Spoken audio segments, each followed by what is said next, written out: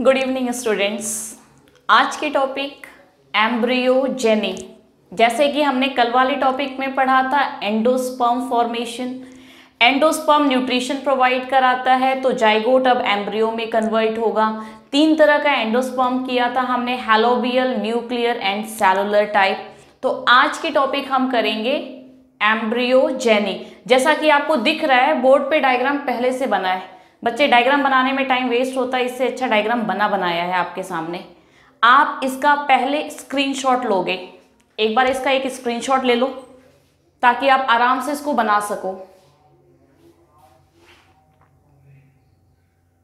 ले लिया? अब एक एक टर्म डायग्राम बिल्कुल क्लियर है।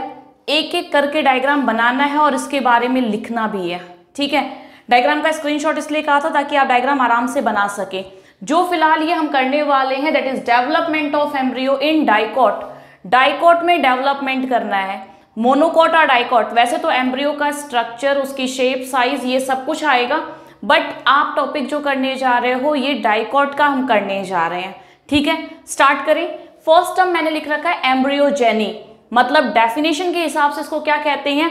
Formation of embryo from zygote zygote से एम्ब्रियो की फॉर्मेशन एम्ब्रियोजेनी कहलाती है और एम्ब्रियोजेनेसिस कहलाती है। तो write down formation of formation of embryo from zygote. Zygote से एम्ब्रियो की फॉर्मेशन हम एम्ब्रियोजेनी कहते हैं। अब आपको दिखाई दे रहा है जाइगोट। कहते हैं, जब एंडोस्पर्म कंप्लीट फॉर्म कर जाता है और एंडोस्पर्म की कंप्लीट फॉर्मेशन के बाद डेवलपमेंट ऑफ़ जाइगोट स्टार्ट्स कहते हैं। मतलब ये जो लाइन है, यहाँ पे केवल वन वर्ड लिखना है डेवलपमेंट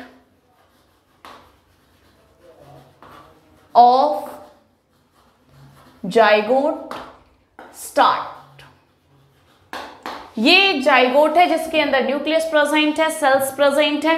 ये अब डिवीज़न स्टार्ट करेगा। मतलब अब इसमें डिवीज़न स्टार्ट होगी। ये डिवाइड करेगा बच्चे तो देखो इट डिवाइड ट्रांसवर्सली मतलब start development of zygote start divide एक से दो बनेगा। एक से दो बन गया। अब टू सेल्ड स्टेज आ गई। टू सेल्ड में बड़े वाले पार्ट को हम सस्पेंसर कहते हैं और छोटे वाले पार्ट को एम्ब्रियोनल सेल या एम्ब्रियो सेल कह सकते हैं। Suspensor is also known as बच्चे, इसको हम कहते हैं basal cell and embryonal cell is known as terminal cell क्या कहेंगे? Is known as terminal cell और ऑल्सो नोन एज इसको और क्या बुलाएँगे हम? इसको हम बुलाते हैं एपिकल सेल नोट करेंगे टू पार्ट्स में ये डिवाइड किया। अनइक्वल डिवीज़न होती है ट्रांसवर्स डिवीज़न होता है। तो अब लिखेंगे division of zygote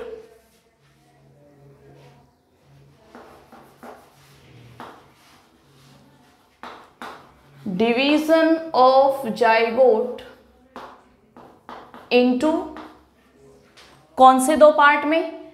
तो two parts suspensor cell and embryonal cell in suspensor cell and embryonal cell first division जो डिवीज़न हुई है, वो कैसी हुई है? तो first division is transverse next point लिखेंगे आप. फ़र्स्ट डिवीज़न इज़ ट्रांसवर्स पहली डिवीज़न ट्रांसवर्स होती है। अब ट्रांसवर्स डिवीज़न में अभी हमने देखा कि एक ऊपर वाला पार्ट बेसल कहलाया और नीचे वाला पार्ट टर्मिनल कहलाया। ये बेसल और टर्मिनल सेल में कौन कौन से पार्ट हैं? एक बार मैं पहले आपको पूरा डिस्क्रिप्शन दे देती हूँ, उसके बाद हम लिखते हैं, क्योंकि जनरली मैं अब इसको रेज करूँगी। देखो नॉर्मली एक से दो डिवाइड किया, ठीक है? ट्रांसवर्स ये डिवीज़न करता है ट्रांसवर्सली ये कटा और दो पार्ट में डिवाइड कर गया। अब इसके बाद फिर से डिविजन्स चलती हैं। फिर से डिविजन्स चलती हैं तो कहते हैं सस्पेंसर सेल में भी डिवीज़न चलती है तो ये एक का दो बन जाता है। और टर्मिनल में भी डिवीज़न चलती है तो ये भी एक का दो बन जाता है। तो दो और दो कितने हो गए? चार। ये देखो, चार सेल में दिख रहा है। अब दो और दो अगर मैं चार की बात कर रही हूँ तो इस स्टेज को हम कहते हैं quadrant stage T shape embryo form करता है और इसे क्वाड्रेंट कहते हैं। अब इस क्वाड्रेंट में फिर से डिवीज़न चलती है। फिर से डिवीज़न चलने का मतलब है छह से दस सेल में ये डिवाइड करता है। ऊपर वाले सेल्स देखो, ये सेल्स डिवाइड करेंगे। तो अब अगला जो डिवीज़न होगा, ये चार से किसमें कन्वर्ट हो जाएगा? आठ में। जब आठ में कन्वर्ट होगा तो इसे हम ऑक्टेंट बुलाते हैं। चार था, इसे क्वाड्रेंट बोला। जब ये डिवाइड कर गया और डिवाइड करके आठ में कन्वर्ट कर गया तो इसे हम कहते हैं ऑक्टेंट ऑक्टेंट जब अरेंज करेगा अरेंजमेंट कैसे करता है? दो लाइंस में अरेंज करता है इन टू टायर्स क्योंकि ये रहा ऑक्टेंट अब ये फर्दर डिवाइड करेगा तो सीधी सी बात है, दो लाइन में अरेंज किया एट और एट सिक्सटीन सेल्ड बन गया। इसको हम कहते हैं globular embryo this shape is named as globular embryo इसके बाद ये शेप चेंज करता है तो इसे कहते हैं हर्ट शेप एम्ब्रियो जब हार्ट शेप एम्ब्रियो बन जाएगा तो ये प्रॉपर अब एम्ब्रियोनिक स्टेज मतलब एम्ब्रियो कंप्लीट फॉर्म करना स्टार्ट करता है। तो ये जो लास्ट दिखा रखा है it is a typical dicot embryo ये एक टिपिकल डाइकॉट एम्ब्रियो है। आपने अभी जो समझा है, वो सिंपल लाइंस थी बच्चे। एक सेल डिवाइड जाइगोट किया तो दो सेल में बना। फिर ये डिवीज़न किया तो चार बने। चार को हमने क्वाड्रेंट कहा। फिर ये एट में डिवाइड कर गया that is known as octant जब ये एट में डिवाइड किया तो ऊपर की तरफ़ देखो सस्पेंसर सेल्स के जो नंबर इंक्रीज कर रहे हैं, इसका एक पार्ट स्वेल सब कर जाता है। जब इसमें स्वेलिंग होती है that swelling is named as haustorial cell इसे हाउस्टोरियल सेल कहते हैं rest all is known as suspensor कहलाता है। बच्चे सस्पेंसर का जो लास्ट सेल होता है, इसे हम हाइपोफाइसिस कहते हैं। जो एम्ब्रियोनल सेल के टुवर्ड्स लाई करता है, इसे हाइपोफाइसिस बुलाते हैं और हाइपोफाइसल सेल कहते हैं। और जो पार्ट चैलेजा के टुवर्ड्स होता है, उसे एपीबेसल सेल कहते हैं। जब ये डिवीज़न स्टार्ट करता है तो देखिए, नीचे वाले जब डिवीज़न स्टार्ट करता है मतलब टर्मिनल जब डिवीज़न स्टार्ट करता है तो उसके आउटर मोस्ट लेयर को हम कहते हैं, जो बाहर वाला पार्ट है, उसे डर्मेटोजेन बुलाया जाता है। जो अंदर वाला पार्ट है, वो दो पार्ट में डिवाइड होता है। One is known as procambium and second is known as ground meristem अंदर वाले दोनों पार्ट का नाम, एक का नाम है प्रोकैम्बियम और एक का नाम है ग्राउंड मैरिस्टेम अब इसके बाद ये डिविजन्स करते हैं और ग्लोबुलर शेप में। Globular shape is converted into heart shape embryo और हर्ट शेप से प्रॉपर एक एम्ब्रियोनिक डेवलपमेंट दिखाई देती है। स्टार्ट करें। अब आप राइट डाउन करोगे, क्योंकि मैं डायग्राम इरेज अगर जिसने डायग्राम नहीं ले रखा हो, फिर से बच्चे एक बार आप स्क्रीनशॉट ले सकते हैं, क्योंकि डायग्राम आपको कंप्लीट बनाना पड़ेगा। ठीक है? अब मैं इसको लिखना स्टार्ट करती हूँ। मैं ये वाला स्टेप अब इरेज करूँगी।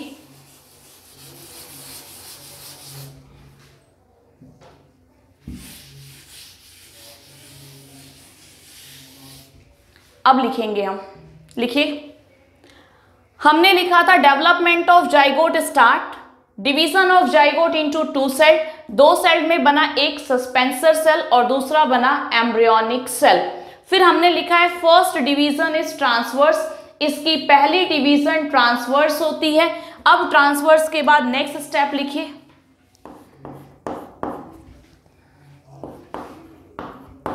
Two unequal cell formed unequal cell formed दो अनइक्वल सेल फॉर्म करते हैं।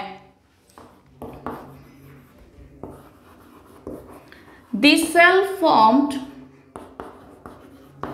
towards micropyle known as basal cell जो माइक्रोपाइल के टुवर्ड्स फॉर्म करती है, उसे हम कहते हैं basal cell and those cell formed towards chalaza known as जो चैलेजा की तरफ़ बनते हैं, उसे हम क्या कहते हैं? एम्ब्रियोनल सेल देखो लाइंस आपने कंप्लीट लिख दी हमने इसके स्टेप्स कंप्लीट किए हैं। दो सेल्स फॉर्म करते हैं ट्रांसवर्स डिवीज़न होता है ट्रांसवर्स डिवीज़न में दोनों सेल जो एक माइक्रोपाइल की तरफ़ बनता है, उसे हम बेसल बुलाते हैं या फिर उसी को आप सस्पेंसर सेल कहते हैं। जबकि दूसरा सेल जो चैलेजा की तरफ़ बनता है that is known as embryonal cell या फिर इसी को हम टर्मिनल सेल या फिर इसी को आप एपिकल सेल कहते हैं। अब इसे आप नोट करिए।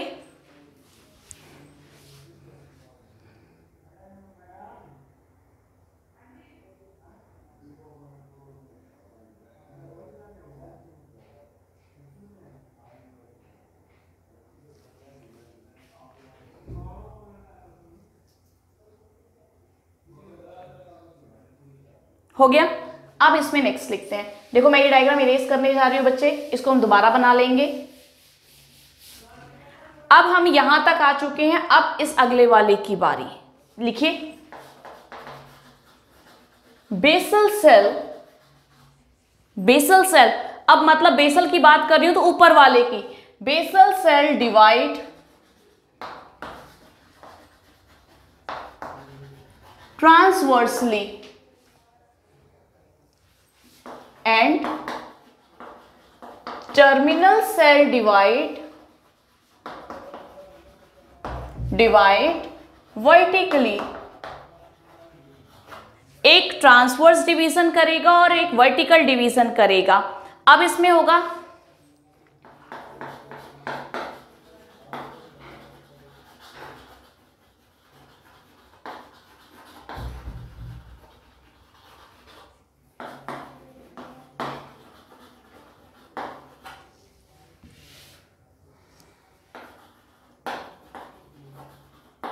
two cell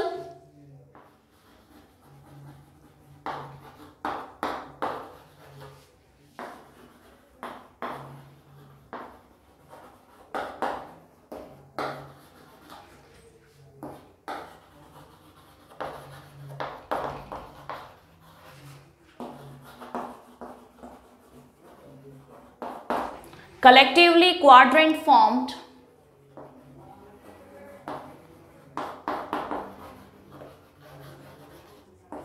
और टी शेप एम्ब्रियो अभी हमने देख लिया यहाँ तक कि ये भी डिवाइड करता है तो ऊपर दो बना लेता है, फिर ये नीचे दो सेल्स बना लेते हैं, दो और दो डायरेक्टली चार सेल्स हो जाते हैं। जब ये चार सेल बन जाते हैं मतलब एक से दो डिवाइड करता है, फिर अगला दो डिवाइड करता है। तो फोर सेल्ड स्टेज आ गए। फोर सेल्ड को हमने कहा क्वाड्रिन या फिर इसी को टी शेप्ड एम्ब्रियो भी कहते हैं। फर्दर ये टी शेप किसमें कन्वर्ट हो जाएगा? ऑक्टेंट में।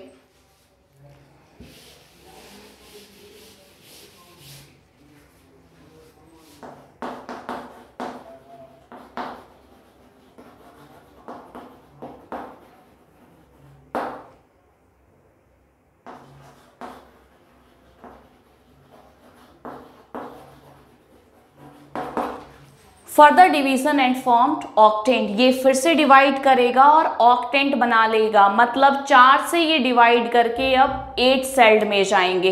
अभी मैंने कहा था सस्पेंसर सेल ऊपर वाला पार्ट है। अब ये स्वेल्सअप करेगा और ऊपर वाले पार्ट को हम क्या कहेंगे? हाउस्टोरियल सेल मतलब जो आपने इधर डायग्राम बनाया था, अब हम उस डायग्राम की लेबलिंग करना स्टार्ट करेंगे। चलिए करते हैं।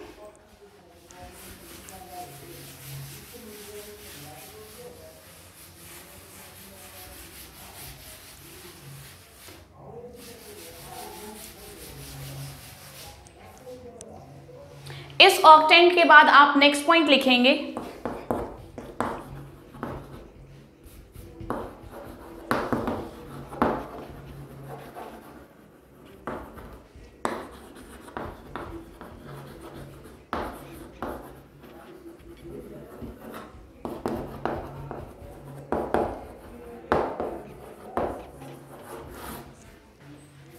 The tip of suspensor cell swells and formed haustorial cell ये स्वेलिंग करता जाएगा और इसे हम बुलाते हैं हाउस्टोरियल सेल इसके बाद बाई टर्म ट्रांसवर्स डिवीज़न ये जो सिक्स टू टेन अब इसमें सिंपल ये ऑक्टेंट जो बना रखा था ऑक्टेंट एट सेल वापस डिवाइड कर जाता है, ये फर्दर डिवीज़न करते हैं. तो सिक्स टू टेन सेल्स आपके suspensor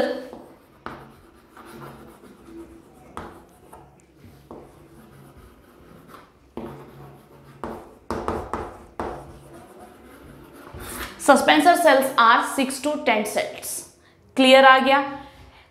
जाइगोट था डिवीज़न किया दो में, फिर दो वाले ने फर्दर चार में डिवाइड कर गया।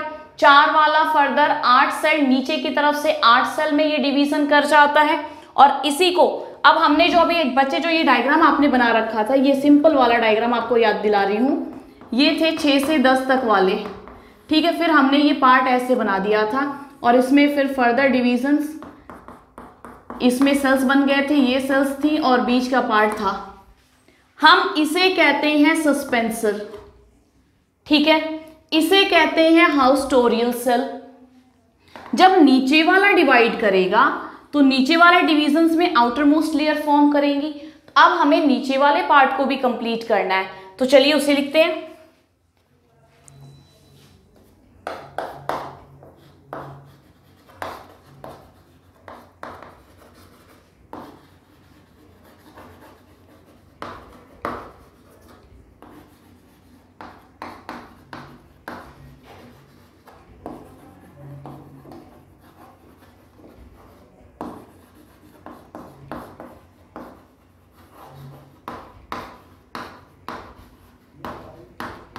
देखो कितनी अच्छी लाइन लिखी है हमने। The part of suspensor cell lie towards embryonal cell जो सस्पेंसर का पार्ट एम्ब्रियोनल की तरफ़ दिखता है मतलब यहाँ कहीं। ये जो पार्ट दिखाई देगा एम्ब्रियोनल की तरफ़ दैट इज़ नोन एज इसे हम क्या बुलाते हैं? हाइपोफाइसिस बुलाते हैं बच्चे। इसे हाइपोफाइसिस कहते हैं और इसी हाइपोफाइसिस से रूट टिप और रूट कैप की फॉर्मेशन होती है। मतलब यही बाद में रेडिकल में कन्वर्ट कर जाएगा। क्लियर आ गया? मतलब अब हाइपोफाइसल सेल भी कंप्लीट फॉर्म्ड कर गए। अब इसके बाद this octant cell divide periclinal division octant cell divide periclinal एक होता है एंटीक्लिनल और एक होता है पेरिक्लिनल पेरिक्लिनल डिवीज़न मतलब पेरीफेरी के टुवर्ड्स ब्रेक डाउन करना। Divide and formed 16 celled embryo.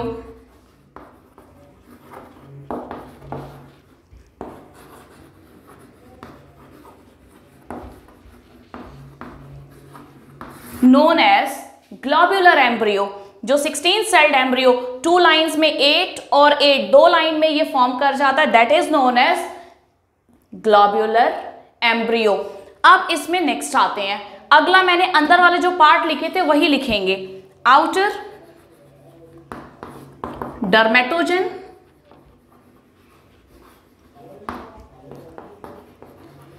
Inner दो सेल्स बनते हैं। One is known as procambium one is known as procambium and second is known as ground meristem अगले वाले को हम ग्राउंड मैरिस्टेम कहते हैं। सिंपल से आपने लाइन लिखी है, कुछ भी नया मैंने नहीं लिखा है, जो मैं बनाया हूँ मेनली जो हमने बनाया है, वही हमने अभी लिखा है। क्लियर है? अब इसमें लास्ट टर्म आ गया। मतलब इसके बाद जो शेप बनी हुई थी, अब उस पर हम बात करते हैं। नोट कर लिया सबने? अब हम इसको इरेज करेंगे। दिस ग्लोबुलर एम्ब्रियो बेटा आपने अभी इस डायग्राम के बाद हमने ऐसे बनाया था देन सेल्स आर देयर और ये ऐसे बन गया था शेप मतलब next point globular embryo convert किसमें हो जाएगा? हार्ट शेप एम्ब्रियो में. मतलब ग्लोबुलर एम्ब्रियो के बाद जो फॉर्म करेगा, वो heart shape embryo is form and heart shape embryo के बाद सिंपल टर्म्स ये सेल्स बने थे।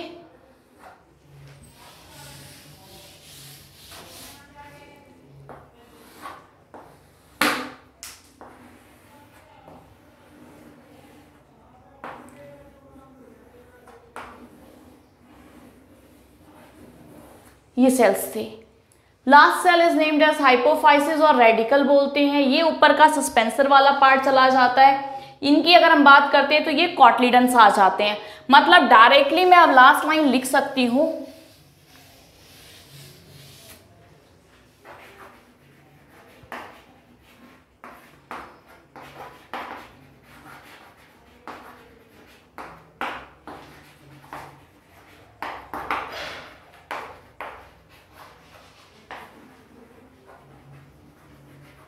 A typical dicot embryo is formed ये है वो टिपिकल डाइकॉट एम्ब्रियो मतलब ये आपको याद रहना चाहिए कि टिपिकल डाइकॉट एम्ब्रियो कैसा होता है। अब मैं लिखूँगी। नेक्स्ट लाइन आपकी आएगी।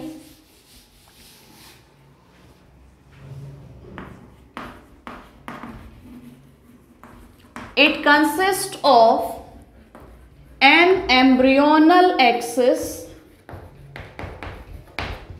and two cotyledons.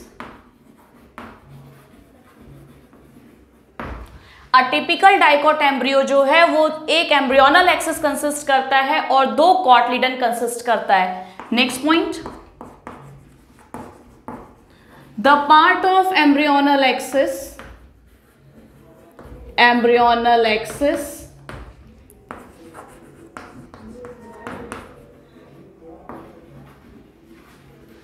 above the cotyledon known as epicotyle. जो पार्ट ऊपर की तरफ़ रहेगा, उसे एपिकोटाइल कहेंगे। It terminates in stem tip ये स्टेम टिप में टर्मिनेट कर जाता है सो नोन एज क्या बुलाएँगे? It is known as plumule जो बाद में फर्दर शूट टिप बन जाता है। और दूसरा part the part below the embryonal axis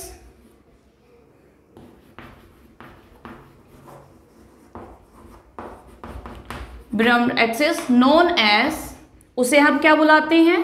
hypocotyl उसे हम बुलाते हैं हाइपोकोटाइल जो पार्ट एम्ब्रियोनल एक्सिस के बिलो होता है, उसे हम बुलाते हैं हाइपोकोटाइल जो ऊपर होता है, उसे बुलाते हैं हम epicotyl epicotyl terminate in stem tip. तो अपने आप बताओ कि ये हाइपोकोटाइल किसमें टर्मिनेट करेगा? लेट्स आंसर तो hypocotyl is terminates in directly मैं हाइपोकोटाइल इज़ टर्मिनेट्स इन। हम कह सकते हैं टर्मिनेट्स इन रूट टिप और रूट टिप से फिर फर्दर इज़ नेम्ड एज क्या बुलाओगे आप इसे? Radicle it is named as radicle इसे हम रेडिकल कहेंगे। मतलब ये जो डायग्राम बना हुआ है, वो है ये पार्ट मतलब डायरेक्टली अगर क्वेश्चन पेपर में आता है draw a typical diagram of dicot embryo that is the dicot embryo and it is the description complete अगर आपको पूछता है डेवलपमेंट ऑफ़ एम्ब्रियो एम्ब्रियो की कंप्लीट डेवलपमेंट क्या होती है? तो एम्ब्रियो की कंप्लीट डेवलपमेंट के लिए बच्चे, हम एम्ब्रियोजेनी पढ़ेंगे। और एम्ब्रियोजेनी अब एम्ब्रियोजेनी में आपको एक बार फिर से रिवाइज कराती हूँ। ध्यान से समझना क्योंकि रिटर्न वर्क हमारा अब कंप्लीट हो चुका है। क्लियर है? अब केवल हमें सेल्स के बारे में समझना है कि जो हमने बनाया है या जो हमने अभी लिखा, वो हमें समझ में आया या नहीं आया? एक बार बैक रिवीजन लेते हैं। हमारी टॉपिक है embryogeny that is embryogenesis formation of embryo from zygote is known as embryogenesis या एम्ब्रियोजेनी कहते हैं। एम्ब्रियोजेनी दो जगह पे एक मोनोकॉट और डाइकॉट दोनों में चलती है। हम फ़िलहाल यहाँ पे development of embryo in dicots पढ़ रहे हैं। मेनली कहते हैं, सबसे पहले डाइकॉट में कैप्सिला में सबसे पहले इसको देखा गया था और जो डिस्कवरी की थी वो हैंस्टेन ने की थी। H A N S T E I N Hanstein ने किया था डिस्कवर्ड सबसे पहले कैप्सिला में। इसके बाद था क्या? जब एंडो मेनली कहते हैं एंडोस्पर्म न्यूट्रिशन प्रोवाइड कराता है। जब एंडोस्पर्म प्राइमरी एंडोस्पर्म न्यूक्लियस से कंप्लीट कन्वर्ट कर जाता है तब ये अब जाइगोट को इनिशिएट करता है कि इट कन्वर्ट इनटू एम्ब्रियो अब ये एम्ब्रियो में कन्वर्ट करे क्योंकि ये इसको न्यूट्रिशन प्रोवाइड कराएगा। क्लियर अब हमारी बारी फ़र्स्ट की आती है। पहला जाइगोट सिंपल जाइगोट कहे या फिर ओस्पोर कहिए ये? स्टार्ट करेगा अब अपने आप को डिवाइड करना।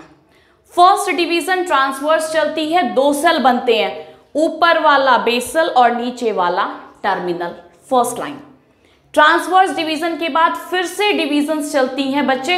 लेकिन अभी हमने कहा था, जब डिविजन्स चलेंगी तो जो ऊपर वाली सेल है, वो ट्रांसवर्सली डिवाइड करेगी, जो नीचे वाली सेल है, वो वर्टिकली डिवाइड करेगी।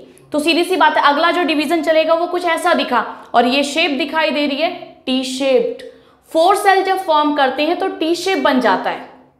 और इस टी शेप के लिए हम कहते हैं क्वाड्रेंट स्टेज यहाँ तक क्लियर है। अब ये क्वाड्रेंट फर्दर डिवीज़न करेगा। फर्दर डिवाइड मतलब चार से किसमें बन जाएगा? आठ में। जब ये एट सेल में बनेगा तो उसे आप ऑक्टेंट कहते हैं।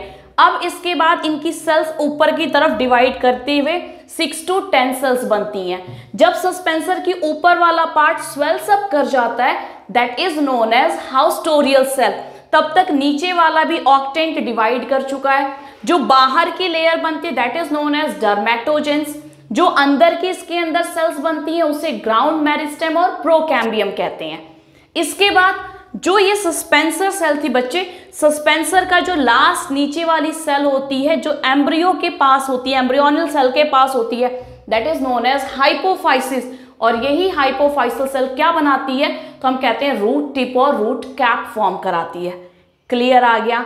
यहाँ तक क्लियर है। That shape is known as globular shape embryo कहते हैं। फिर ये ऑक्टेंट फिर से डिवाइड करता है 16 cell globular is converted into heart shape embryo heart shape में फिर से फर्दर डिविजन्स चलती हैं और ये प्रॉपर अब कॉटलिडन की शेप लेगा। और एक एम्ब्रियोनल एक्सिस कंप्लीट फॉर्म करती है ऊपर और नीचे दो कॉटलिडन्स निकल के आते हैं। तो हम यही कहते हैं a typical embryo is form it consist of an embryonal axis and two cotyledon दो कॉटिलिडन्स फॉर्म करते हैं। जो ऊपर वाला होगा, उसे एपिकोटाइल। और एपिकोटाइल किसमें टर्मिनेट कर जाएगा? तो प्लिम्यूल में। और नीचे वाला पार्ट होता है हाइपोकोटाइल जो फर्दर किसमें कन्वर्ट कर जाता है? रेडिकल में। ऐसे ही मोनोकॉट में आता है। मोनोकॉट में single cotyledon present and single cotyledon is named as उसे क्या बुलाते हैं? हम कहते हैं स्क्यूटलम बोलते हैं।